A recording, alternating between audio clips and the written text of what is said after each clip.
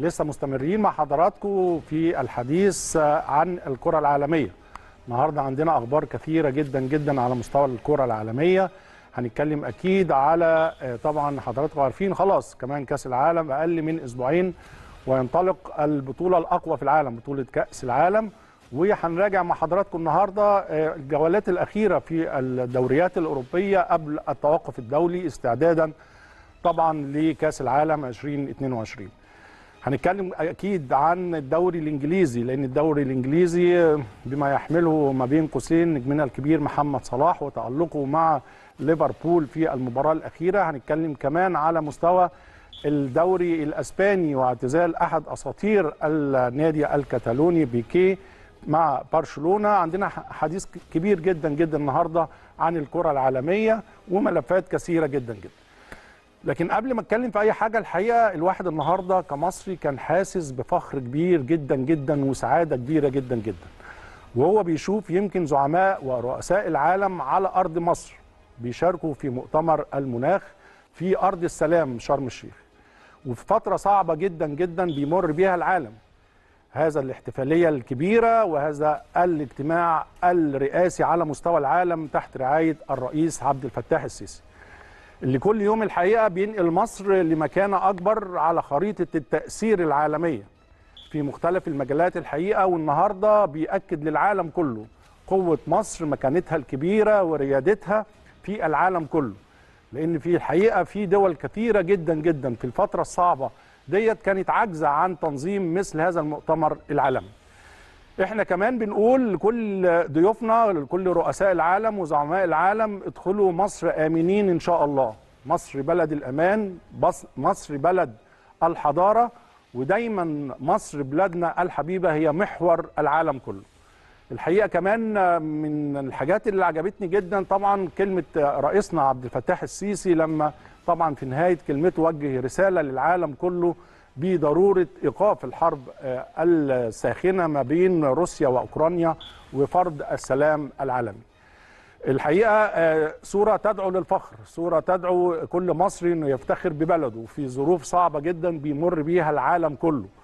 آه إحنا كمان بنمر بظروف صعبة لكن ده جزء من تداعيات الحرب ما بين ما بين روسيا وأوكرانيا اللي نادى بها السيد الرئيس عبد الفتاح السيسي بانهاء هذه الحرب الجارية. طبعا وجود رؤساء العالم وزعماء العالم على أرض مصر في بقعة جميلة على مستوى العالم أرضنا العزيزة شرم الشيخ بيعكس أهمية دور مصر بيعكس دور مصر على المستوى العالمي وإن مصر دايما هي محور العالم أكيد هي محور وطننا العربي ومحور أفريقي هام جدا لكن كمان على المستوى العالمي مصر بتثبت كل يوم تحديات كثيرة جدا جدا بتمر بيها بلادنا وعندنا مشاكل كثيرة جدا جدا ولكن يبقى هذا الرجل عبد الفتاح السيسي هو رجل المهام الصعبة. رجل الحقيقة بي بيفتح ملفات كثيرة جدا جدا ملفات صادمة وبيعالج كثير من الزعماء وكثير من الرؤساء كانوا للأسف بيعملوا عمليات تخدير. مصر في الفترات الأخيرة ما بتخشش في عمليات التخدير ولكن بتخش في عمليات جراحية دقيقة جدا على جميع المستويات سواء على المستوى السياسي أو على المستوى الاقتصادي. وزي ما بنقول رئيسنا عبد الفتاح السيسي رئيس يتمتع بالتحدي رئيس يتمتع بالمصداقية والشفافية رئيس بيتحدى كل الملفات الكثيرة اللي مرت بها مصر رئيس بيحب بلده وإحنا بنحب جيشنا وبنحب بلدنا وإحنا وراء كل من يحافظ على أمن واستقرار مصر العزيزة. صوره أمام حضراتكم زعماء العالم موجودين على أرض مصر العظيمة تحت رعاية قائدنا عبد الفتاح السيسي بتحتضن مؤتمر المناخ العالمي. صورة لها معاني كثيرة جدا جدا في الأوقات الصعبة اللي بنمر بيها حتى على المستوى الاقتصادي. صورة بتدي انطباع وبتديك أمل وبتديك طمأنينة لمستقبل مصر. عندنا بعض المشاكل آه عندنا بعض المشاكل. عندنا بعض الأزمات آه عندنا بعض الأزمات. ولكن إن شاء الله بإذن الله هنمر بكل الأزمات وهنعدي كل المشاكل. لأن مش أنا اللي بقول كده ده ربنا سبحانه وتعالى هو اللي قال كده. ستظل مصر دايما بلد آمن. مصر طبعا المذكورة في القرآن والإنجيل عندنا ثقة كشعب مصر اللي عندنا كان تحديات كثيرة جدا جدا وآخرها في 2013 وإزاي خرجنا من هذه المشاكل وإزاي خرجنا من هذه البقعة الصعبة جدا عشان نواجه التحديات تحت رئاسة عبد الفتاح السيسي اللي الحقيقة يمكن تتفق أو نختلف على سياساته لكن أنا ولا خبير اقتصادي ولا رجل سياسي لكن عبد الفتاح السيسي رئيسنا طبعا رئيس يتمتع زي ما بقول لحضراتكم بالمواجهة. مواجهة المشاكل حل المشاكل الحل الجذري من الجذور المشكلة نفسها. ليها عواقب على المستوى الاقتصادي أكيد. ولكن في النهاية أنا عندي ثقة كبيرة جدا جدا إن إحنا هنخرج من هذه الأزمة بالمنظر اللي قدام حضراتكم بالصورة اللي قدام حضراتكم بوجود زعماء العالم في أرض مصر العظيمة اللي بتدل يعني بتدل على دلالات كثيرة جدا جدا وهي الأمان. الأمان اللي هو دايما هي ما بين قوسين كده هي بوابة مصر. مصر دايما هي بوابة الأمان. إن شاء الله كل التوفيق لبلدنا العزيزة مصر ودائما في استقرار ودائما في تقدم بإذن الله. زي ما قلت لحضراتكم النهارده عندنا حلقة الحقيقة عندنا حاجات كتيرة جدا تخص الكرة العالمية. هنعمل لحضراتكم جولة سريعة زي ما قلت للدوريات الخمس الكبرى. وخاصة الدوري الإنجليزي قبل طبعا نهاية أو التوقف اللي هيحدث بكرة لجميع الدوريات على مستوى العالم. هنتكلم بشكل خاص عن نجمنا محمد صلاح اللي فعلا بيواصل تحطيم الأرقام القياسية في الدوري الإنجليزي والبريمير ليج. هنتكلم زي ما قلت لحضراتكم عن بيكيه أسطورة برشلونة واعتزاله لكرة القدم في مشهد يمكن كان مؤثر جدا في مباراة مباراة برشلونة مع الميريا في الدوري الأسباني. وهنتكلم كمان بالتفصيل عن دوري أبطال أوروبا. حضراتكم عارفين كان في طبعا النهارده قرعة دور ال 16 في طبعا دوري أبطال أوروبا اللي يمكن شهدت الحقيقة مواجهات نارية. طبعا أبرزها أكيد يعني البطل والوصيف في الموسم الماضي ريال مدريد وليفربول في مواجهة قوية جدا. وكمان مواجهة أخرى على مستوى مستوى كبير ومستوى عالمي. بنتكلم على باريس سان جيرمان امام بايرن ميونخ. أعتقد دور ال 16 في البريمير ليج هيكون مشتعل.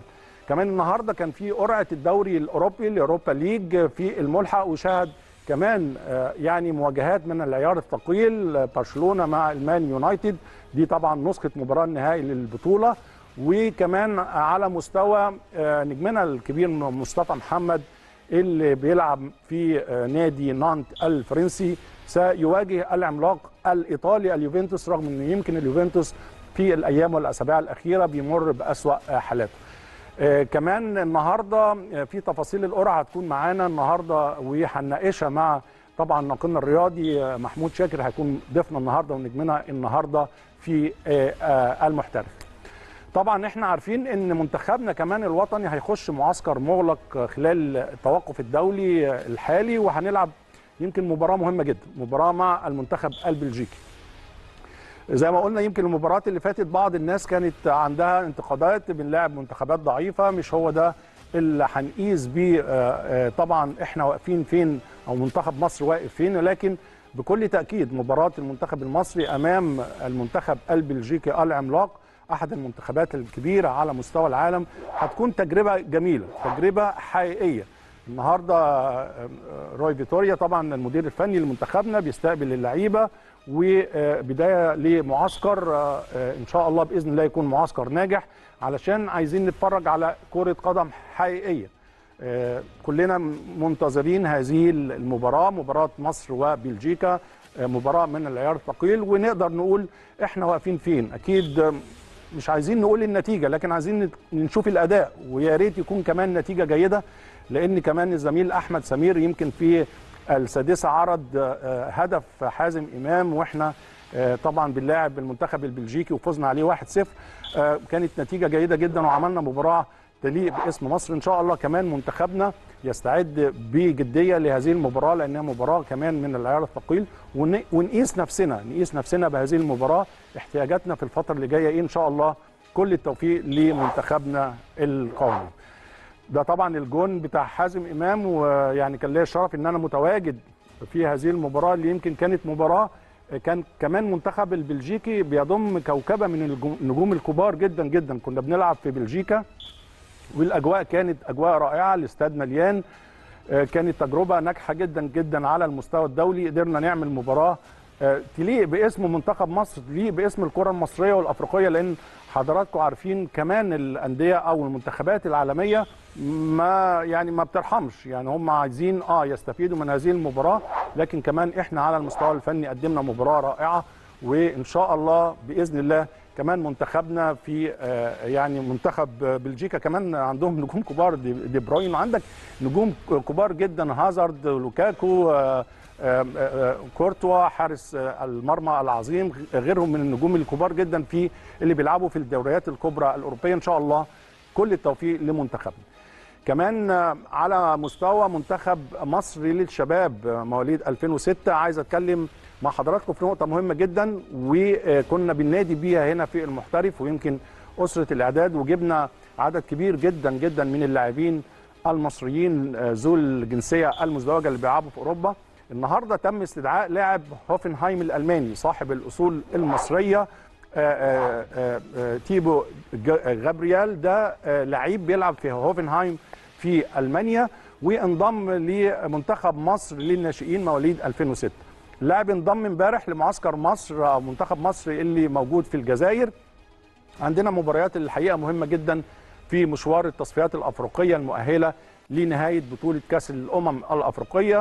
آه، هيبدأ منتخب مصر مشواره في التصفيات الأفريقية آه، بمواجهة ليبيا آه، إن شاء الله بكرة آه، 8 نوفمبر. ثم يواجه منتخب تونس يوم 11 ويختتم مبارياته أمام المنتخب المغربي يوم 14 نوفمبر. الحقيقة مهم جدا زي ما بنتكلم إن عندنا منتخب إن شاء الله هيواجه بلجيكا المنتخب المصري الأول.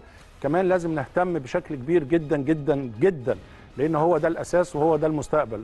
عندنا منتخب الناشئين تحت آه، مواليد 2006 عندنا كمان منتخب الشباب 2003 كل المنتخبات المصرية هي ال هي الداعم الأكبر لمنتخب مصر الأول وده يمكن السياسة اللي بتتبعها دول كثيرة جدا جدا على رأسهم ألمانيا وبلجيكا وإنجلترا وأسبانيا كل ده بيشتغل الأول وبيهيئ المناخ من تحت ويهيئ جيل محترم جدا من آه، منتخبات على مستوى الشباب وعلى مستوى الناشئين يكونوا هم الداعم الأكبر للمنتخب الأول. كل التوفيق لمنتخباتنا القومية في الفترة اللي جاية.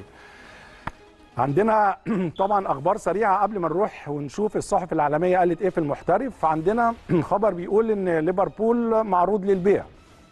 نادي ليفربول أو عرضت مجموعة فينواي الرياضية المالكه لنادي ليفربول أسهم الريدز للبيع.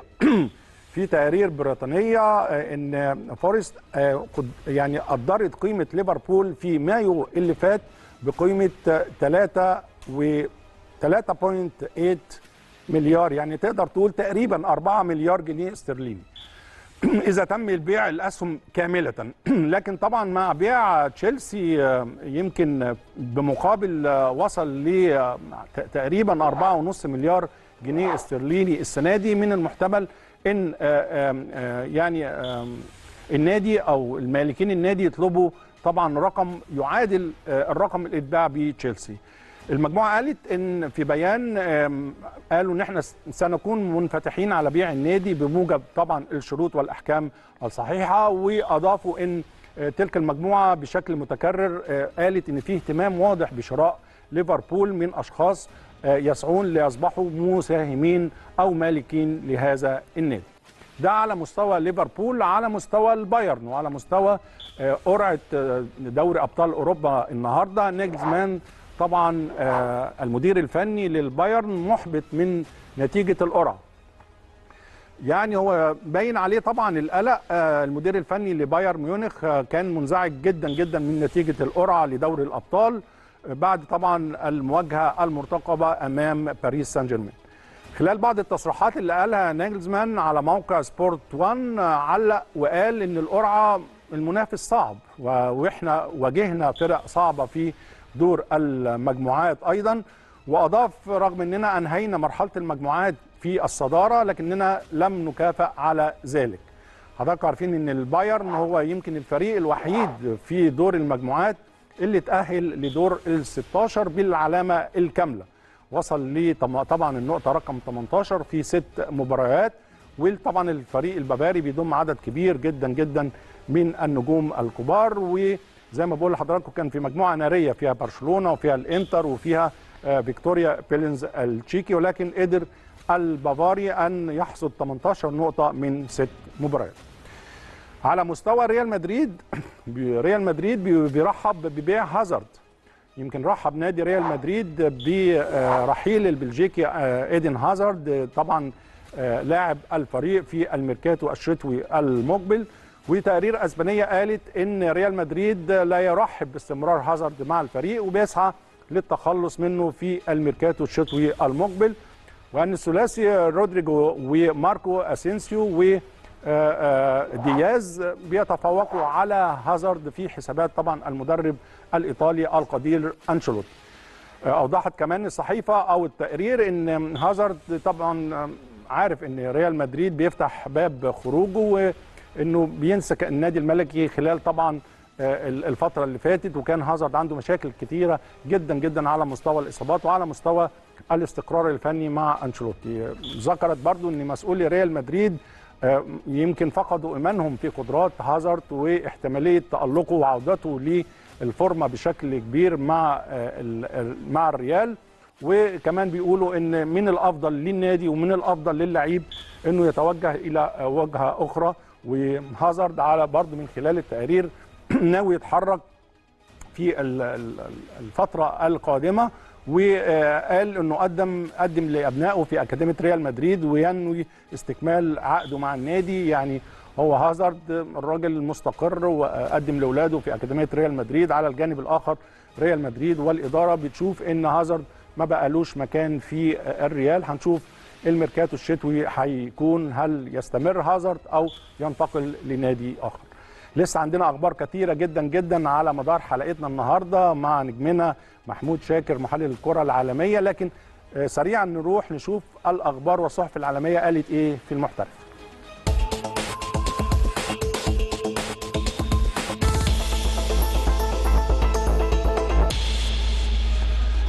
يلا نبدأ سريعا جولتنا في الصحافة العالمية اللي هنبدأها بماركا الإسبانية اللي ركزت أكيد على قرعة دور ال 16 بدوري أبطال أوروبا ومعرفة طبعا ريال مدريد لمنافسة قوية أمام طبعا أمام ريال مدريد بنفسه قبل مواجهة رايو فاليكانو لاستعادة صدارة الدوري الإسباني. صحيفة الصحيفة كمان اهتمت بتعادل أتلتيكو مدريد مع إسبانيول واحد واحد وكتبت حتى ضد 10 لاعبين لا يرفعون الرأس.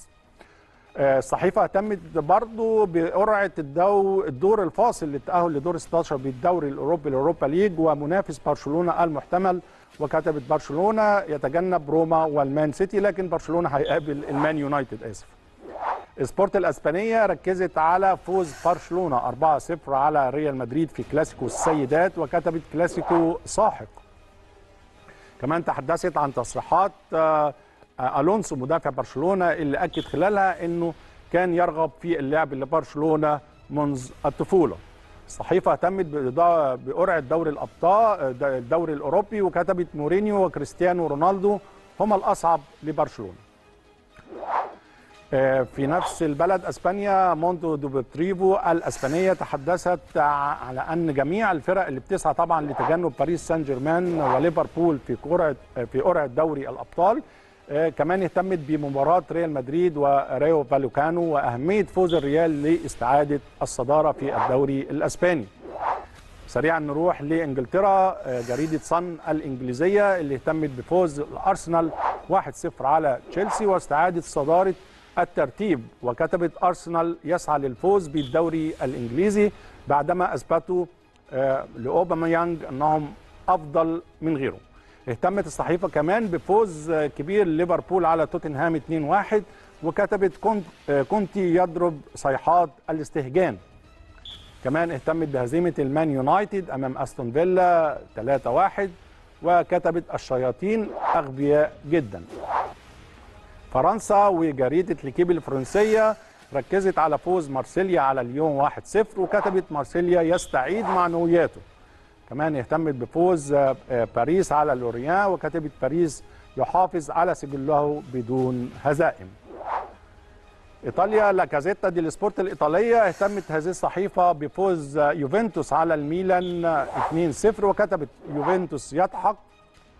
وبكده يعني اليوفنتوس كمان بيحقق مفاجأة. يعني حضراتكم عارفين إن اليوفنتوس في دوري الأبطال خرج يعني في المركز الثالث وبيلعب في اليوروبا league على مستوى الدوري أو السيريا آ بيمر بأزمات كثيرة جدا جدا جدا. دي كانت الصحف العالمية وفي المحترف. هنروح لفاصل سريع. بعد الفاصل إن شاء الله نستقبل ضيفنا الناقد الرياضي ومحلل الكرة العالمية النجم محمود شاكر.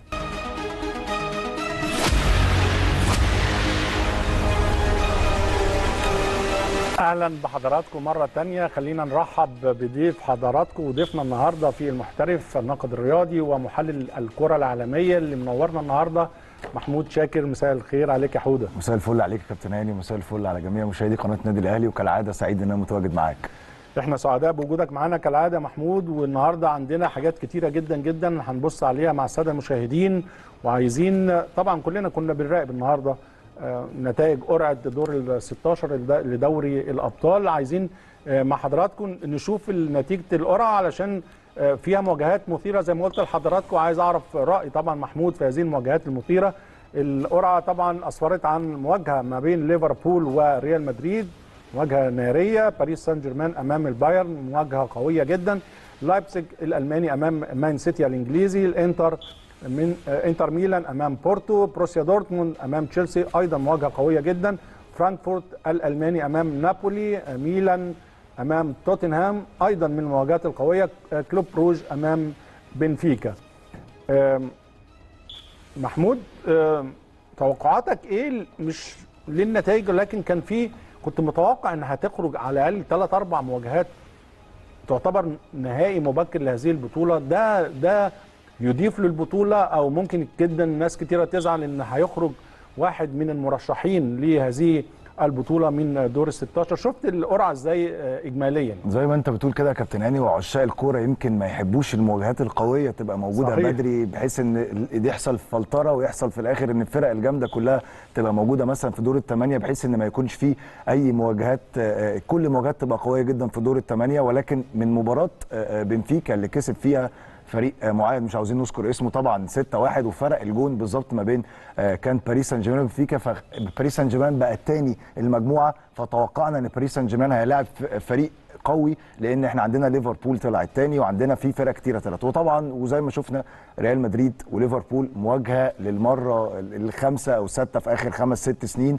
نفس الكلام طبعا المواجهة القوية جدا ما بين ال PSG باريس سان جيرمان وبايرن ميونخ ودي اللي كنت أتمنى إن هي ما تحصلش خالص في دور ال 16 ولكن باقي المواجهات يا كابتن هاني فيها تكافؤ بنسبة كبيرة تعالى جدا أنا جدا. وأنت هنمر كده على المواجهات مباراة مباراة وطبعا انت عارف أو السادة المشاهدين عارفين ان طبعا هذه البطولة يعني هتتلعب الأدوار لدور 16 أيام 14 و15 فبراير السنة الجاية إن شاء الله. وزي ما حضراتكم عارفين كمان يمكن السنة اللي فاتت الويفا ألغى خلاص عملية إن الهدف خارج الديار بهدفين وده ما يزيد الإثارة والشغف و المتعة في كرة القدم خاصة في الدوريات الأوروبية. ليها أثر إيجابي أنت شايف القاعدة ديت fair والقاعدة ديت بتزيد من إثارة المباريات بشكل أو بآخر ولا أنت شايف إن ال يعني القانون القديم آه يعني أفضل شوية. شوف يا كابتن هاني أنا بف يعني الكورة دلوقتي أسرع والريتم بتاعها بقى أسرع فالأفضل أكيد القانون الجديد. ولكن القانون القديم كان بيتلعب عليه tactics وبيتلعب عليه مباريات معينة الفريق بينزل يعمل zone صحيح. معين بيحاول يطول في المباراة على قد ما يقدر يبقى ال maximum يدخل فيه جون بالكتير عشان يقدر يعوض في مباراه العودة. ولكن كلنا عارفين إن أوروبا ما فيش الكلام ده يا كابتن هاني بره الأرض وجوه الأرض الاثنين واحد. ولكن أنا عاوز أتكلم على حاجة ثانية هتفرق في في في دور ال 16 الكلام ده هيتلعب في شهر فبراير في شهر 2 زي ما حضرتك ذكرت يا كابتن هاني. هيكون في ميركاتو اتفتح وهيكون في لعيبة كتيرة جدا انتدبتها فرق كتيرة. واحدة زي من الفرق اللي هتفرق معاها بشكل كبير جدا إن عودة الدور ده هتكون في شهر 2 هي ليفربول. ليفربول عنده إصابات بالجملة لويس دياز وعنده جوتا وعنده ناس كتيرة جدا. وبعد كاس العالم كمان يا كابتن هاني الحالة الفنية والحالة الذهنية اللي هيبقى عليها لعيبة كتيرة جدا جدا إن كل نجوم العالم هيبقوا موجودين في كاس العالم في اللي هيطلع من دور الثمانيه وفي اللي هيوصل للنهائي وفي اللي هيطلع من semi final فكل دي هتأثر بشكل كبير جدا على آه، آه، شهر فبراير في المباراة بتاع الدور 16 ولكن عاوز أقول إن إحنا أي حكم دلوقتي هنحكمه هيبقى سريع جدا مقارنة باللي هيحصل كمان 3 4 شهور ولكن مواجهات قوية جدا طبعا أنا مواجهة معاك أنا ريال معاك مدريد إن ال- المتغيرات بتبقى سريعة جدا في كرة القدم خاصة في ميركاتو شتوي وعندنا كأس عالم. متغيرات هتكون آه، سريعة على مستوى الأندية على مستوى الاستعداد على مستوى الأداء الفني. لكن خلينا أنا وأنت نبدأ ب آه، تقييمك أو آرائك في المباريات ونبدأ من مباراة لايبزيج الألماني أمام المان سيتي. آه، شايف المباراة إزاي؟ يعني من خلال رؤيتك طبعا للايبزيج فريق محترم على فكرة جدا وممكن يحقق مفاجآت ولكن مش في اعتقادي على حساب المان سيتي. يمكن يا كابتن هاني دي المباراة الوحيدة اللي ما فيهاش تكافؤ. هو بالظبط مانشستر يمكن دي المباراة الوحيدة في الثمان مباريات اللي ما فيهاش تكافؤ. آه، مانشستر سيتي طبعا أقوى فريق في العالم دلوقتي بيقدم مستويات هايلة وسوبر هالاند والكلام ده كله. لايبزيج فريق كويس. ورجع تيمو فيرنر تاني. هو خامس خامس الدوري دلوقتي الثالث الدوري الإسباني ولكن مانشستر سيتي أقوى بشكل كبير جدا. فأعتقد إن مانشستر سيتي هيتفوق في في المباراة دي ودي أكتر مباراة ما فيهاش تكافؤ. باقي المباريات كلها أعتقد إن فيها تكافؤ يا كابتن هاني. طبيعي وأنت كمان عارف والساده المشاهدين عارفين إن يمكن مباراة الذهاب بتكون خارج ال- الديار بالنسبة لأوائل المجاميع يعني المان سيتي هيلعب المباراة الأولى في ألمانيا أمام آه، لايبزيج ومباراة العودة بتكون في آه، في مانشستر في الجولة أو في مباراة آه، العودة ده كمان بالرغم إن إحنا بنتكلم إن ال- الهدف خلاص الهدف باثنين مش محسوب لكن يزال عامل الأرض والجمهور عامل مؤثر جدا في كرة القدم. طيب نروح لمباراة كلوب بروج مع بنفيكا. كلوب بروج يا كابتن عمل أول أول دوري أبطال أوروبا ما ابتدى ابتدى ثلاث مباريات تسع نقط. كسب كسب كسب ولكن بعد كده خسر مباراة وتعادل مباراتين. كلوب بروج عامل يعني فريق كويس والسنة دي في دوري أبطال أوروبا ماشي كويس. دور المجموعات؟ آه يعني طبعا بس يا كابتن المجموعة بتاعتهم اللي كانت مفاجأة بالنسبة لي هو أتلتيكو مدريد. يعني أتلتيكو مدريد طلع الرابع المجموعة دي وما تأهلش حتى لليوروبا league. فدي اللي كانت مفاجأة. والمجموعة دي يعني زي ما كنت بكلم حضرتك إن أنا عاوزين الفرق الكبيرة تتوزع. المجموعة دي كانت محتاجة فريق أو فريقين كبار يتوزعوا بحيث إن إحنا مثلا ما نشوفش اليوفي بره ما نشوفش برشلونة بره فدي كانت مهمة جدا. أتلتيكو مدريد كان في مفاجأة كبيرة طلع رابع المجموعة. صحيح. ات- اتأهل من المجموعه دي كلوب بروج وفرانكفورت آه، فأعتقد إن آه، أعتقد بنسبة كبيرة طبعا يعني مباراة تبقى متكافئة مع بنفيكا آه، بنفيكا دلوقتي يعتبر هو أول الدوري البرتغالي وعامل نتيجة هايلة في آخر مباراة ليه في الدوري أبطال أوروبا فأعتقد إن هي 50 50 ولكن الأقرب بنفيكا نظرا لقوة الدوري البرتغالي عن الدوري البلجيكي شوية وخصوصا إن كلوب ابتدى كويس ولكن المجموعات مش أفضل طريقة يعني. عندنا مباراة اللي جاية مباراة كبيرة جدا. طبعا. يمكن من المباريات اللي الواحد زعل المواجهة بدري شوية. ليفربول أمام ريال مدريد آه، النسخة يمكن اللي فاتت دول طرفي النهائي. بنتكلم على عوامل كثيرة جدا منها على السوشيال ميديا. تاني رجعت لمحمد صلاح فرصة تاني لل- صلاح آه لل-. للتعويض أو للأخذ بالطار. المباراة على مستوى على مستوى مباراة نهائية. طبعا. شايفها إزاي؟ وتوقعاتك ليها إيه؟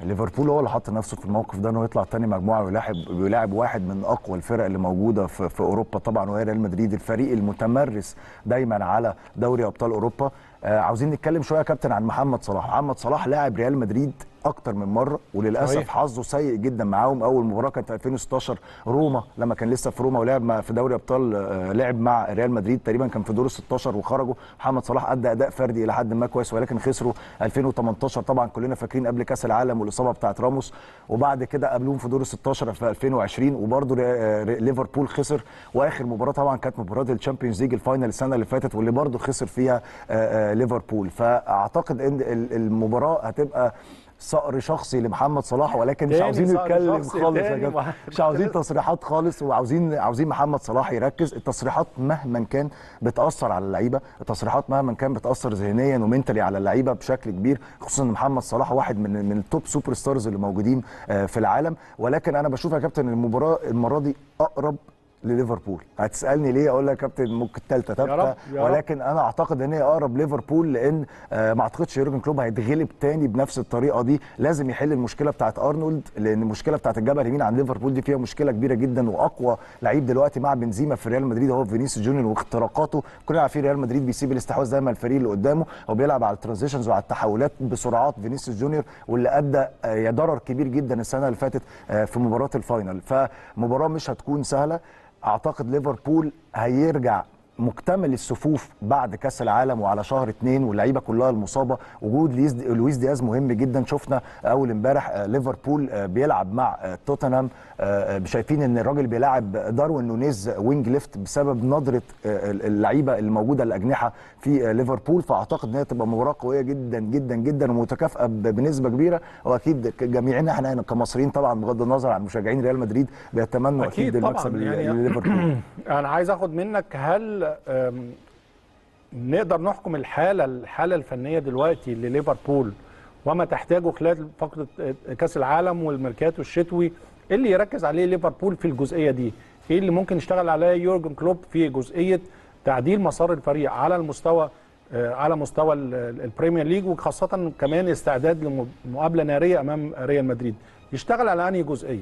كابتن يورجن كلوب قابل مشكلة كبيرة السنة دي إن هو بيغير هوي- هوية الفريق وطريقة اللعب وطريقة الضغط وطريقة التحولات. ده بسبب عوامل كتيرة جدا رحيل ساديو ماني وإصابة لويس دياز وإصابة جوتا ولاعيبه نص ملعب ما بقتش في ال top form بتاعهم إصابة فابينيو ما بقينا نادر نلاقي هندرسون وفابينيو وتياجو ألكانتارا بيلعبوا مع بعض. فبس بدأ ليفربول إلى حد ما يتخلى عن الطريقة اللي عاوز يلعب بيها وبقى بيلعب على اللي بيكسب بيه. شفنا في مباراة توتنهام محمد صلاح طبعا فارق الكبير قوي اللي عمله. فأعتقد يا كابتن هي دي تبقى المعركة بالنسبة ليورجن كلوب. هو تغيير طريقة آه، آه، تغيير هوية فريق ليفربول بحيث إن هو دلوقتي هنشوف هل لويس دياز هيرجع هيلعب بنفس الأسلوب والطريقة بتاعت 4 3 3 اللي كان بيعتمد عليها لما كان موجود ساديو ماني ولا هيلعب بالطريقة بتاعته على الورق 4 3 3 وفي التحولات بتبقى 4 4 2 ويسيب محمد صلاح ليه الحرية الكاملة إن هو يتحرك على الخطوط ويتحرك في عمق الملعب استغلال سرعته وما يدوش أي أدوار دفاعية. ده اللي هيفرق. فاحنا هنشوف يا كابتن مع عودة الإصابات هل ليفربول هيقدر يعود ولا لا؟ لأن إحنا شايفين ليفربول بيترنح بشكل كبير شوية فوق وشوية تحت يكسب السيتي يخسر المباراة اللي بعدها. ف آه، بس كسبوا نابولي وعملوا مباراة هايلة وكسبوا توتنهام. فليفربول دلوقتي لسه بعيد آه ولكن مهم جدا إن هو يبدأ يخش في ال top four عشان ده اللي هيفوق الفرقة في دوري أبطال أوروبا. ويا كابتن هاني دوري غير دوري أبطال أوروبا. حقيقي. ولينا. في ريال مدريد خير مثال فيش شك طبعا. طيب قبل ما نطلع فاصل أنت قلت المان سيتي هيترشح آه. على حساب آه، لايبزيج، وقلت بنفيكا على حساب كلوب بروج أيوه. ريال مدريد. لا ليفربول. ليفربول. آه. ليفربول. ليفربول هيتأهل. خلاص يبقى محمود شاكر حط لنا ثلاث فرق هنرجعها له كمان دور. في دور الثمانيه هنطلع لفاصل سريع. بعد الفاصل نستكمل مع حضراتكم آه، مباريات دور ال 16 لدوري الأبطال. أهلا بحضراتكم مرة تانية. محمود خلصنا ثلاث مواجهات. حددت ثلاث فرق آه، خلاص صعدوا لدور الثمانيه عايزين مباراة المواجهة الرابعة ما بين مباراة مهمة كمان قوية ما بين اي سي ميلان الإيطالي وتوتنهام الإنجليزي. طبعا. عشاق الميلان يعني سعداء وكلنا سعداء بعودة الميلان مرة أخرى للأدوار المتقدمة في دوري أبطال أوروبا. آه الميلان السنة دي ماشي كويس. طبعا نابولي مش مخلي حد في الدوري الإيطالي يعمل أي حاجة. نابولي ماشي زي القطر ما, ما, ما بيخسرش أي نقاط باستثناء أول مباراتين بس تعادل فيهم والباقي كل المباريات كانت مكسب. ميلان بيأتي في المركز الثاني آه مباريات كويسة. عودة الميلان مرة أخرى لدور ال 16 آه مواجهة مش هتكون سهلة خصوصا إن كونتي آه، أو توتنهام بقاله كتير قوي يا كابتن هاني. من ساعه المباراة ال final اللي فاكرها مع محمد صلاح في ليفربول اللي كسبوا فيها 1-0 توتنهام ما تأهلش لأي أدوار إقصائية في Champions League غير السنة دي وتأهلوا بالعافية. شفنا صحيح. طبعا ماتش مارسيليا. آه، آه، آه، أصلا يعني عاوز أقول لك إن توتنهام كان خلاص رايح ال Europa League كان خسران 1-0 ده, ده توتنهام كان بره البطولة أصلا وكان خسران وبعدين رجع تاني بقى تاني بالظبط، وبعدين بقى أول والماتش الثاني وكان خلاص رابع المجموعة وكان هيبقى زيه زي أتلتيكو مدريد ولا Europa League ولا Champions League ولكن ريمونتادا ودي سمة يمكن توتنهام آخر فترة إن هو دايما في الشوط الثاني بيعمل ريمونتادا وشفنا ده في الدوري آه، الإنجليزي برده كان في مباراة خسران فيها 2-0 وقدر يرجع 3-2 برده في الشوط الثاني توتنهام بيبتدي المباراة الشوط الأولاني سيء ولكن في الشوط الثاني بيقدر يعمل الفارق فأعتقد بنسبة كبيرة إن الميلان ممكن يكون أقرب عشان عارف إن. الوقت زنقنا. أيوه يا كابتن. الميلان. كويس. الميلان كمان وأنا الميلان. أتمنى الميلان برضه آه طبعا عشاق الميلان لكن في اعتقادي مباراة مش سهلة لكن الحالة كابتن هاني. الفنية للميلان دلوقتي آه، رائعة جدا جدا على المستوى الفني على مستوى آه، الثقة وعلى مستوى اللاعبين كمان ده. طيب نروح لمباراة الخامسة والمواجهة الخامسة ما بين فرانكفورت الألماني ونابولي الإيطالي نابولي مع سباليتي عامل موسم خيالي موسم تاريخي كفارتسخيليا اللعيب الجورجي مكسر الدنيا أوزمن برضو قدر يعمل سباليتي يا كابتن. دايما نتكلم عنه وأقول إن سباليتي من أكتر المدربين اللي يقدروا يطوروا اللعيبة من النواحي الفردية والمهارية ويمكن خير مثال محمد صلاح.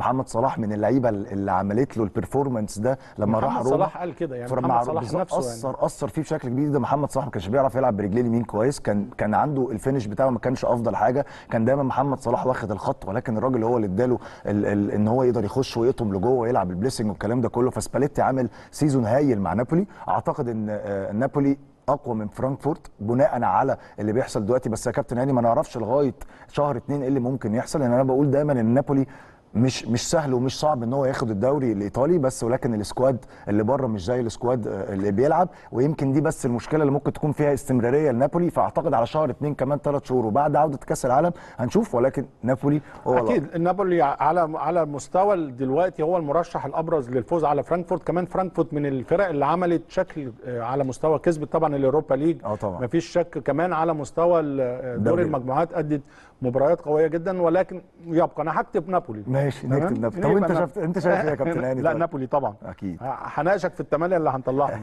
طيب ال- ال- المواجهة الخامسة مواجهة قوية جدا على مستوى الستة بقى. آه، آه. دورتموند وتشيلسي الإنجليزي. أيوه.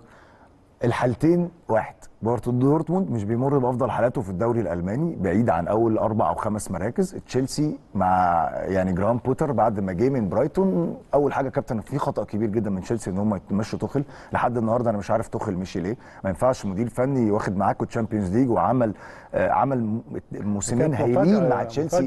غريب. جدا إن. هو يمشي يا كابتن هاني ويجيبوا جرام آه، بوتر. آه جرام بوتر مدير فني كويس ولكن هو مدير فني محلي للدوري الإنجليزي يقدر يمسك برايتون يمسك أستون فيلا يمسك الفرق بتاعت منتصف الجدول.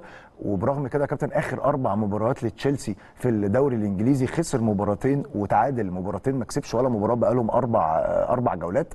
فتشيلسي في أزمة أزمة على الخط الأمامي. الثلث الأزمة دي. كمان يمكن بسبب يمكن أكتر الأندية يعني صرفوا في الميركاتو اللي كابتن، بس جايبين وجابوا لعيبة بملايين و ولكن المجمل أو ال- الإنتاج مش على قد اللي اتصرف كابتن كل. الانتدابات جايبينها في وسط الملعب وجايبينها في الخط الدفاعي إنما في الثلث الهجومي يا كابتن أنا آسف ده جايب أوباميانج وهو مخلص جايب ستيرلينج اللي ما كانش بيلعب مع مانشستر سيتي ولا مع جوارديولا في نفس الوقت عندك هافرتز من ساعة ما انت جبته هو وتيمو فيرنر من صحيح. سنتين وما قدمش أي حاجة فتشيلسي محتاج انتدابات مهمة جدا في الثلث الهجومي في آه، آه، الميركاتو الشتوي ولكن المباراة 50 50 بس أقدر أقول إن ها. ممكن آه، ها. بروسيا دورتموند ممكن يعدي دورتموند خلاص دورتموند دي المواجهة السادسة أيوة. نروح لمواجهة قوية جدا الإنتر وبورتو. أمام بورتو بالرغم من الاسمين ممكن على مستوى الاسمين الانتر هو الاتقل شوية لكن بورتو عنده مفاجآت وبيعمل مباريات رائعة يعني. طبعا بورتو فريق كبير جدا في الدوري البرتغالي وهو متصدر الدوري البر... عفوا تاني الدوري البرتغالي دلوقتي بعد بنفيكا.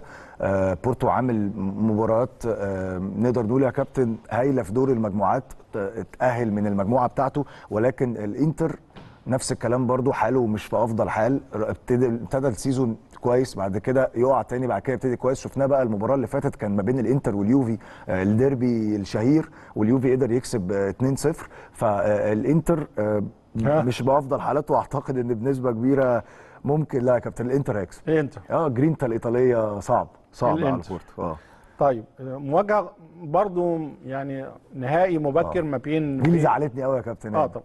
يعني البايرن أمام باريس سان جيرمان فرقتين طبيعي جدا وانت بتتكلم يعني يلعبوا مباراة نهائية لكن مواجهه في دور ال 16 هتخسرنا متعة المشاهدة لفرقة لفرق من الفرقتين من بصراحة. الفرقتين على مستوى البايرن وبيقدم أداء ولا أروع ويمكن الفريق الوحيد في دور المجموعات اللي أنهى بالعلامه الكاملة على الجانب الآخر البي إس جي والهدف الأكبر ما يزال الهدف وال target الكبير طبعا للإدارة. الفوز بدوري الأبطال بيصطدم بالعملاق البافاري مواجهة يا كابتن ما كنتش أتمناها ولا أي حد من عشاق كورة كان يتمناها في دور ال 16 كنا نتمناها متأخر شوية. آه باريس سان جيرمان السنة دي فارق عن السنة اللي فاتت إن الثلاثه اللي قدام في أفضل حالاتهم السنة اللي فاتت كنا بنشوف إن ميسي كان لسه جاي ما كانش واخد على الأجواء أرقامه ما كانتش كبيرة. ميسي السنة دي فايق جدا جدا يا كابتن هاني وده هيفرق كتير مع آه البي اس جي مدير فني طب الجديد. هاخد من كلامك إن هل آه، أدوار ميسي في كأس العالم مع منتخب الأرجنتين هيبقى ليها مردود بالنسبة لعودته لباريس سان جيرمان يعني في حالة فوزه بكأس العالم الأجواء هتبقى مختلفة كابتن ميسي لو كسب مع الأرجنتين كأس العالم هيكسب مع باريس سان جيرمان دوري أبطال أوروبا من غير كلام إن ده يعتبر آخر season ليه دوليا ويعتبر آخر اثنين أو ثلاث مواسم ليه وهو لغاية دلوقتي الضغط كله إن أنت جايبين ميسي وجايبين أرقام الخ- الخرافية اللي بتدفع ده كلها وال target وال main target الأكبر اللي موجود عند ال PSG هو دوري أبطال أوروبا. المباراة مش هتكون سهلة أنا عاجبني جدا ال- المدير الفني بتاع باريس سان جيرمان السنة دي في تركيز كبير من باريس سان جيرمان في كل ال- ال- البطولات. على الناحية الثانية بايرن ميونخ هاخد من من ناجلزمان التصريح بتاعه بعد القرعة بيقول لك أنا محبط من القرعة إن إحنا ليه نلاعب فرق فريق قوي آه، زي ده في دور ال 16 ولكن هي مشكلة كانت في بنفيكا بنفيكا الجون الأخير اللي جابه هو اللي تأهل عن صحيح. طريق باريس- سان جيرمان أول آه، المجموعة بايرن ميونخ يا كابتن هاني كنت اتكلمت معاك هنا من فترة قلت لك إن دايما بايرن ميونخ مشكلته إن بعد ما مشى ليفاندوفسكي ما فيش راس حربة يقدر يترجم كم الفرص الهائل اللي, اللي بتحصل من آه، بايرن ميونخ. وقلنا إن ما ينفعش ساديو ماني مهما كان هتدخله يلعب ك forward لا أنت ممكن تاخد 100 100% بتاعته أفضل كجناح ما تاخدها تاخد منه 50 60% بس ك forward. فشفنا بقى مفاجأة كبيرة جدا بقى لها خمس مباريات تشوبو موتنج آه،. لعيب اللي لا يرتقي أصلا. بس عامل أداء أكتر من رائع. لأن هو يا كابتن هايل. هو هو هايل وجايب ثلاث اجوان في آخر خمس مباريات وعامل مباراة هايلة ولكن يعني هنشوف بقى الشكل الجديد بتاع بايرن ميونخ إن هم الاعتماد إن أنت تقدر تخلق الفرص اللي تشوبو موتنج هيقدر يترجمها ولا لأ هو على رأيك أنت كمان زي أنت بتقول على مستوى كمان المدربين يمكن ناجلزمان كان مكتئب شوية بصراحة طبعا. يعني هو طبعا آه، مواجهة نارية مواجهة ثأريه والراجل قال أنا لعبت لعبت فرق كبيرة وخدت العلامة الكاملة ولكن في الغالب ما كانش متوقع. إن باريس سان جيرمان حتى يكون في في المركز الثاني يعني انت خد بالك يا كابتن برضو الناس دي بتتحاسب في آخر ال season. انت عملت إيه. وصلت لفين و... ففي أصلا مشاكل في بايرن ميونخ من أول السنة وفي كان في تعليقات كتيرة على ال... ال... ال... الأداء بتاعهم. فلو خرج من دور ال 16 هتبقى كارثة كبيرة جدا وأعتقد إن هو مش هيكمل. ولكن الأقرب مش؟ هنضحك على بعض باريس سان جيرمان كابتن هو رقم واحد لغاية دلوقتي اخص أعتقد في البطولة دي ماشي. معلش يا كابتن أنا عارف إن أنت بتحب بايرن ميونخ خلاص. ولكن بص يا كابتن هاني، باريس. يبقى الألمان ألمان ماشي ماشي أنا okay أنا أنا كده. أنا متوقع البايرن ولكن أنت متوقع باريس فصار هو ال ال ال المباراة طبعا مباراة يعني بدون توقعات بصراحة الفرقتين فرقتين كبار جدا وعندهم target هو الوصول لهذه الكأس آه، ال- الأوروبية الكبيرة لكن هنشوف الله خلال يكون في عون حكم الراية بس يا كابتن في الماتش ده. والله هيجري جري يعني. الله هيجري. أكتر من اللعيبة. آه والله الثلاثه هنا والثلاثه اللي هنا الاثنين بيجروا جري رهيب يعني. الله يكون في عون حكم الراية فعلا في المباراتين دول يعني. محمود إحنا هنروح لفاصل لأن كمان عندنا آه، اليوروبا ليج وكان في مواجهات كمان ثأريه كبيرة جدا جدا مباريات كبيرة على مستوى مان يونايتد أمام برشلونة وكمان مصطفى محمد في آه، طبعا آه، يعني انتظار آه، مواجهة أمام اليوفنتوس العملاق الإيطالي. هنناقش كل ده مع نجمنا محمود شاكر بعد الفاصل.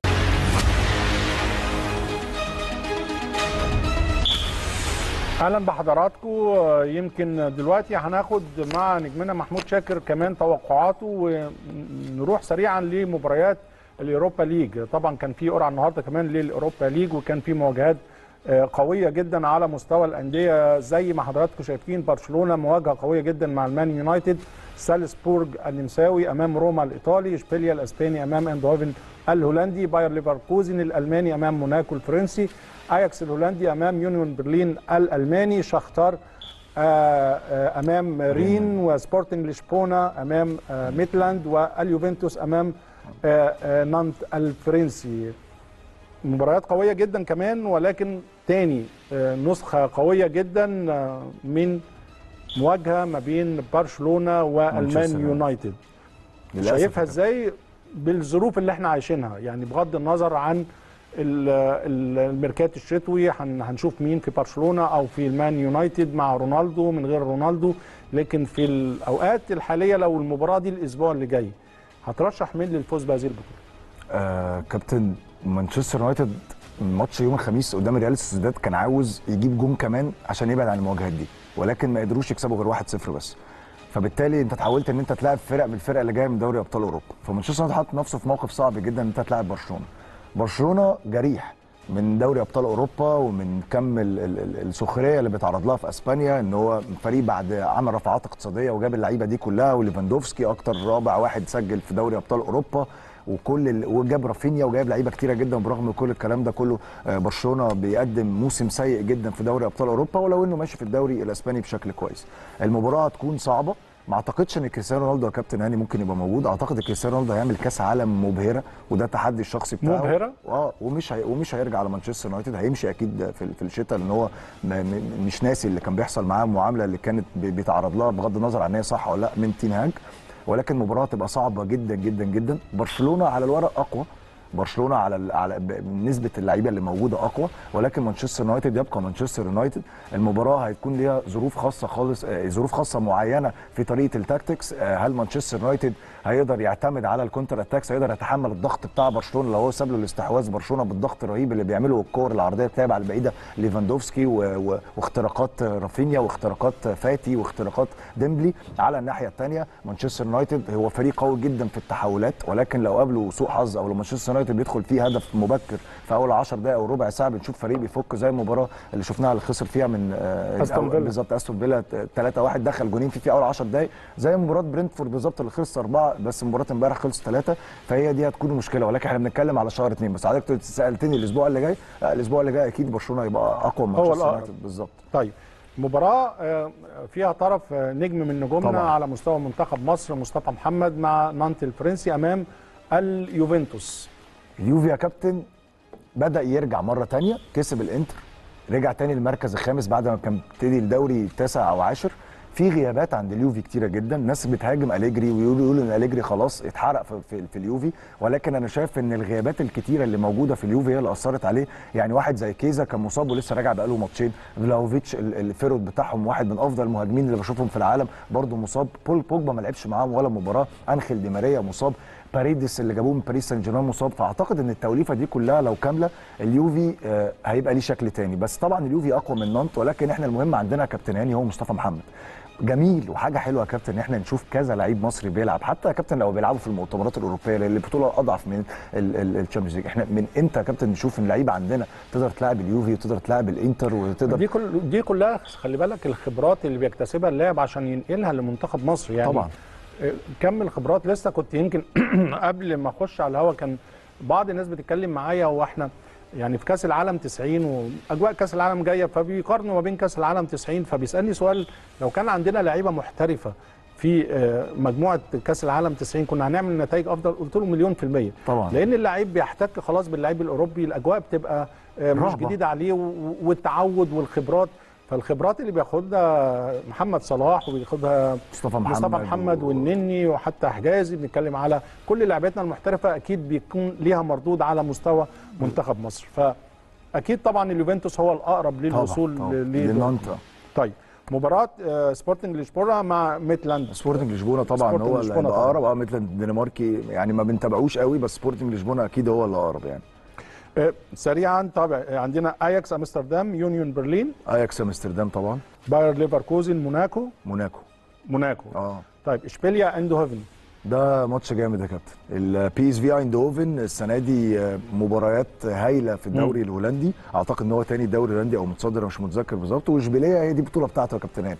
إشبيلية دوري دوري أبطال أوروبا مش ماشي خالص مع إشبيلية. إشبيلية واخد ال- ال Europa League أكتر من ثلاث. مرات وكل مرة يروح دوري أبطال أوروبا ويطلع دايما من دور المجموعات وكالعادة أهو السنة دي طلع ولكن هي البطولة بتاعت إشبيلية فأعتقد إشبيلية ممكن يكون أقرب ولو إن المباراة دي فيها تكافؤ بنسبة كبيرة جدا. سالزبورج النمساوي أمام آه، مورينيو روما. آه، روما. روما. آه، مورينيو اللي قال لك ال- القروش ال- ال- الفاشلة رجعت أيوة. لنا من دوري أبطال أوروبا وكالعادة تصريحاته يعني اللي ما بتتغيرش. روما. بس كانت قرعة بالنسبة له قرعة. آه طبعا قرعة بالنسبة له كويسة. أعتقد لا روما أكيد أقرب من سالزبورج النمساوي يعني. طيب عايزين خلاص خلصنا ال Europa League. لازم نتكلم على ال Premier League. طبعا. ولو اتكلمنا على ال Premier League لازم نتكلم على نجمنا الكبير محمد صلاح. ولازم نتكلم على ليفربول. المباراة اللي قدام محمد صلاح أمام توتنهام مباراة من أفضل المباريات على المستوى الذهني على المستوى البدني لم- لمحمد صلاح.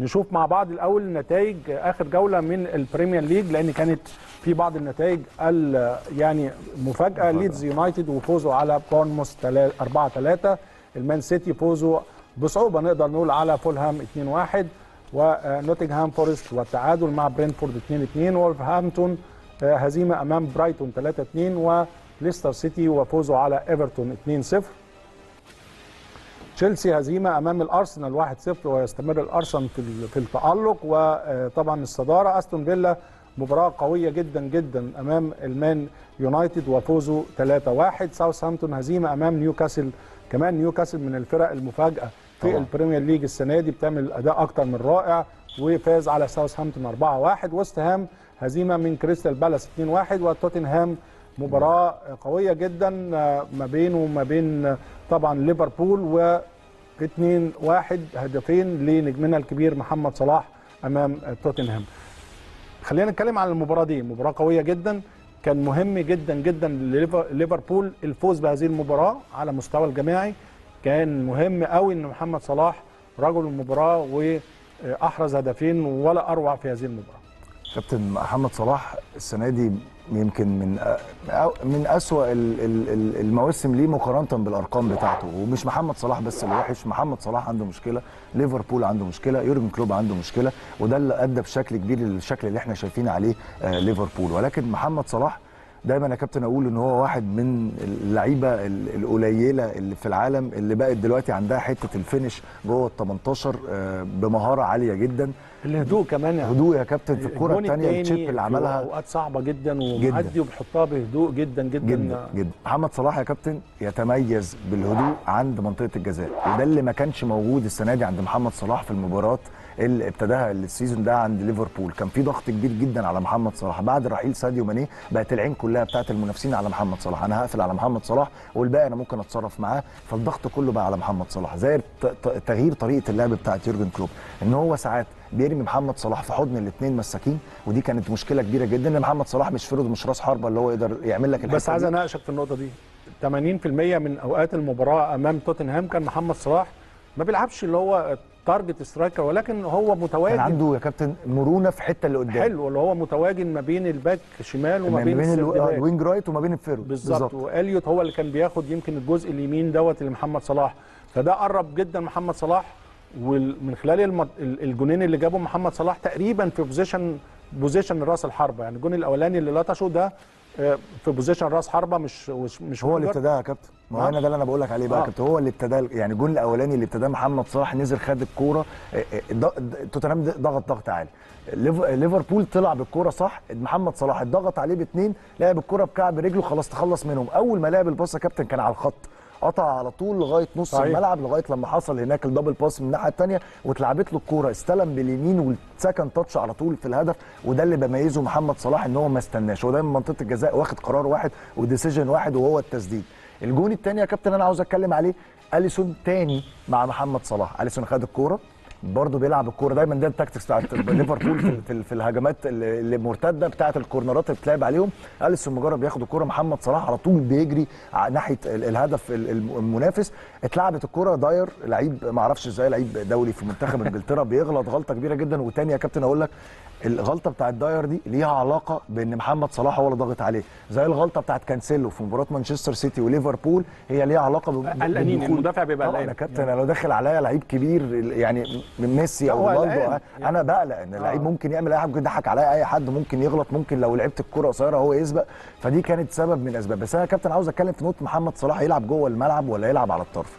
يا كابتن لو هيلعب 4 3 3 صريح هيلعب باثنين أجنحة الأفضل لمحمد صلاح إن هو يلعب على الطرف مش جنب الخط ومش ماسك الخط ولكن هو يقدر إن هو يطلع لبره وفي نفس الوقت إن هو يخش لجوه ويعمل ال placing بتاعته.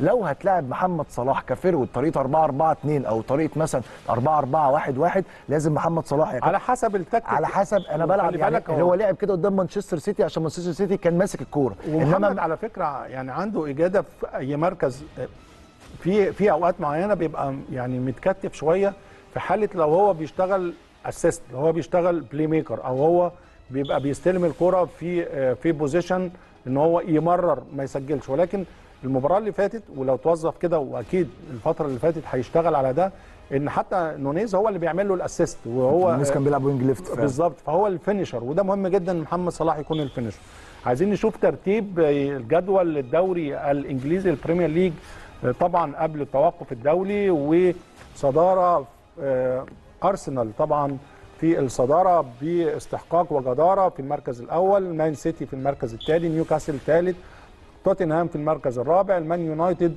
يقترب شوية آه، مان يونايتد ولكن ببطء شديد جدا في المركز الخامس برايتون في المركز السادس تشيلسي ما زال يعاني في المركز السابع. آه، ليفربول بفوزه على توتنهام بيقرب إلى حد برضه ببطء ولكن في المركز الثامن.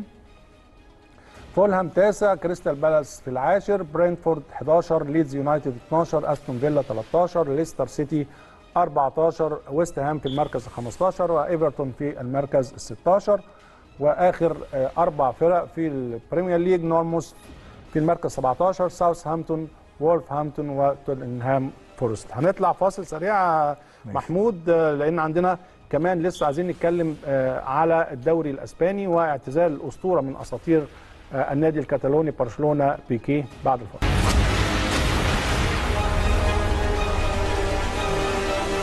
أهلا بحضراتكم مرة تانية. يمكن آه، آه، حدث في الكرة الأسبانية اعتزال نجم واسطوره كبيرة من أساطير الكرة الأسبانية وعلى مستوى برشلونة بيكيه آه، شفت وأنا بكلمك في الفاصل قلت لي بيكيه اتظلم. آه ظالم ولا مظلوم؟ لا يا كابتن هو هو هو مش اتظلم كرويا وخلاص هو خلاص هو مبطل كوره بقاله سنتين. ويمكن الهجوم ال- ال- اللي اتحصل لتشافي بسبب بوسكيتس وبسبب بيكيه بعد المباراة آه، بتاعه الإنتر في في دوري أيوة. أبطال أوروبا اللي هي كانت مربط الفرس إن هم يتأهلوا للدور الثاني هي دي ال- الهجوم زاد على بيكيه بشكل كبير جدا زائد إن من من السنة اللي فاتت آه، لما برشلونة قدم موسم سيء جدا قبل قبل ما يجي تشافي كمان في في الدور الثاني كان الناس كلها دايما الكلام على اللعيبة الكبار اولهم بوسكيتس وبيكيه آه، بيكيه يا كابتن واحد من أفضل المدافعين التاريخيين في أسبانيا واحد من أكتر واحد من أفضل خمس مدافعين في تاريخ برشلونة.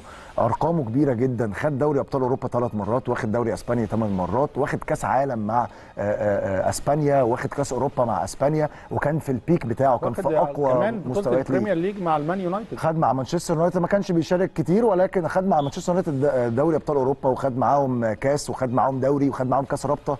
فبيكيه مد- مدافع أنا شايف إن هو اتظلم في الآخر إن ساعة اعتزاله ما كانش فيه ال show الإعلامي الكبير ما كانش فيه آه، أنا حسيت إن هو ما خدش حقه أو كفايته و- بس هو يا كابتن وهو كمان لحظة إعلان اعتزاله كانت في ال... وال curve نازل قوي يعني وال curve زي ما أنت بتتكلم مش واقف على رجله. آه مش واقف على رجله انتقادات كثيره جدا على أدائه بعض الناس قبل حتى ما يعلن اعتزاله قال لازم يمشي من آه، من برشلونة ولا يعتمد عليه في الفترة اللي جاية لكن على مستوى بيحاول برضه كابتن هاني يعمل حاجة إن هو عاوز هو فاضل له سنة ونص في عقده النص اللي هو بتاع الدور الثاني والسنة اللي جاية فهو تخلى بقى عن مرتبه السنة ونص دي وده برضه أمر غريب جدا ليه لو نرجع حتى كان في مشكلة ما بينه وما بين ميسي أو ميسي لما جه في شهر واحد كان تشافي عامل عيد ميلاده ودعا ميسي. ميسي قال أنا هاجي لو بيكيه مش موجود. المشكلة كانت ما ما بين بيكيه وميسي ودي برضه اللي أثرت على بيكيه بنسبة كبيرة إن الراجل يا كابتن هاني آه، ما رضاش يتخلى أو يخفض الراتب بتاعه علشان ميسي يقعد لأن كان. في مشكلة بعد ما ميسي مشي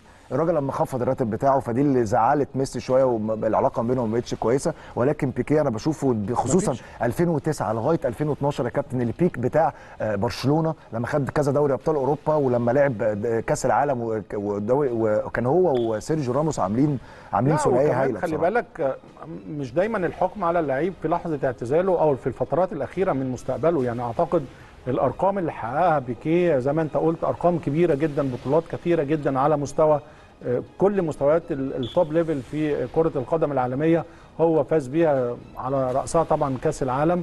آه، فعايزين نقول إن آه، بيكيه ولكن على الجانب الآخر اعتزل على مستوى ال- على مستوى برشلونة ولكن متواجد في القائمة. شيء غريب جدا لويس. انريكي المدير الفني للمنتخب الأسباني. ما أعرفش هل بقى قصده إن هو يعني آخر ماتش ليه في الكامب نو؟ عشان خلاص ده آخر مباراة قبل التوقف الدولي بعد كده خلاص مش هيرجع؟ فما أعرفش بس هو غريب إن هو متواجد في القائمة يعني. طبعا على على مستوى منتخب أسبانيا قد يكون هو كمان آه، آه، يعني يكون الاعتزال الدولي أكيد هو ما استدعوش لا للقائمه النهائية. آه القائمه النهائية ما- مش موجود فيها وبالتالي آه، يعني. بيكيه بيكيه زي ما أنت بتقول مش هنقول ظالم ولا مظلوم ولكن بس ما خرجش من باب الكبير يا كابتن. آه ما خرجش من الباب الكبير. ده للأسف. يعني طيب، هو آه، مدافع كان متميز جدا يا كابتن سوري بدون قطع حتى كلامك. على مستوى. نجوم العالم حتى على مستوى نجوم العالم برضو نجوم العالم كان ليها مشاركة في اعتزال بيكيه. ممكن نشوفها لو لو جاهزين ممكن نشوف نجوم العالم قالوا إيه عن آه، بيكيه. لأن كمان على مستوى زي ما نقول هو كان على مستوى التنظيم كان تنظيم صغير شوية على قد المباراة لكن كمان كان فيه ردود أفعال كبيرة جدا على مستوى نجوم العالم في اعتزال بيكيه. نشوفه مع حضرتك. حتى على مستوى على مستوى نيمار آه، 13 رقم بيكيه للأبد واعتزال الأسطورة فعلا من أساطير كرة القدم الأسبانية. بيكيه وقد يكون آه، رئيس برشلونة القادم لأن بعض التقارير بتقول إن كمان على مستقبل بيكيه بعد الاعتزال هيكون على المستوى الإداري. شايف إن ده فعلا هيكون آه، آه، نهاية أو بداية عهد جديد مع بيكيه على مستوى رئاسة برشلونة يمكن الطريقة اللي خرج بيها يا كابتن هاني واللي هو قال إن أنا مش هلعب أنا ذكرت قبل كده قلت إن أنا مش هلعب بأي قميص تاني غير برشلونة ودي يا كابتن مثال للانتماء وفعلا ده اللي أنا بيزعلني إن الناس بتنتقده في حاجات كتير ولكن نسي موضوع الانتماء اللي موجود في كرة القدم ولكن هو واجهة لبرشلونة أكيد. وهو متربي في برشلونة وهو عاشق لنادي برشلونة شفنا حتى الفيديو اللي نزله على الصفحة بتاعته فأعتقد إن هو ممكن في وقت من الأوقات أكيد يكون مجهزينه يعني كواحد من الكوادر اللي تكون موجودة في برشلونة يعني. محمود آه، كالعادة شرفتنا ونورتنا ودايما متألق. حبيبي يا كابتن أنا لما ببص جدا والله. نكون معاك. حبيبي, حبيبي كابتن. شكرا ليك. الشكر متواصل لحضراتكم إن شاء الله يوم الخميس القادم يوم جديد وحلقة جديدة من المحترف